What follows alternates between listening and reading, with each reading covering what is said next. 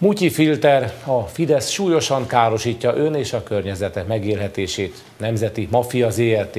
Ilyen és ehhez hasonló táblákkal tiltakozott a trafikpályázatok miatt a Demokratikus Koalíció, ezúttal a hatos villamoson a Szélkálmán tértől egészen a Móricz Zsigmond körtérig. Ilyen még nem volt. Alig, hanem ezért választotta a DK a tiltakozásnak ezt a szokatlan módját. Még jegyet is vettek az útra azok, akiknek nem volt. Azért döntöttek épp a hatos villamos mellett, mert ez a járat az egész várost átszeli.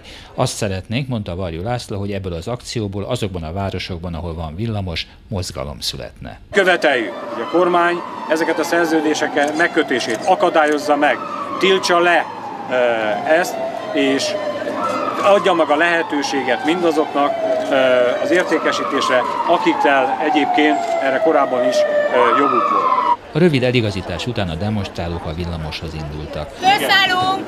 Az utasok legalábbis addig, amíg együtt utaztunk, különösebben nem foglalkoztak a tiltakozókkal. Szóváltás nem volt, ellenőr és rendőr nem érkezett. A többi utas pedig csendesen szemlélte azt, hogy az alkalmi utasok kitették az ablakba a tiltakozó táblákat, és rövid délelőtti városnézésre indultak.